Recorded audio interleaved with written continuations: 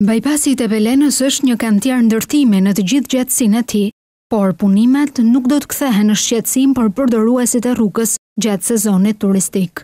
Drejtoresha e Autoritetit Rrugor Shqiptar, Sonila Qato, thotë se po merren të gjitha masat. Masa provizore që për sezonin turistik aksi të jetë i lirë mhm. dhe të mos krijojë shqetësime për trafikun dhe ngarkesën që do ketë rruga ku do të lidhet sigurisht me jugun e vendit. Aktualisht po punohet për të siguruar mbrojtje nga lumi dhe nga shpati i kalasë. Nga shpati i kalasë do mbushen gjithë zgavrat që kemi ne, pra ku është ka gërryer erozioni, do mbushen me beton dhe me mhm. gurë dhe pastaj do vendoset rrjeta Pavarësisht kompleksitetit të veprës, ministrja e Infrastrukturës dhe Energjisë, Belinda Balluku, shpreson që rruga të jetë gati para afatit të parashikuar në kontratë. Strategjia e re për të kompensuar të gjitha humbjet e kohës në të shkuarën është që dorëzojmë vepra para afatit. Kjo është diçka që po e bëjmë po e bëjmë 6 mujorin e fundit dhe duam që të vazhdojmë me të njëjtin ritëm. Segmenti prej 2.1 kilometrash që lidh autostradën Levan-Tepelenë Me atë Tepelenë-Kakavijë,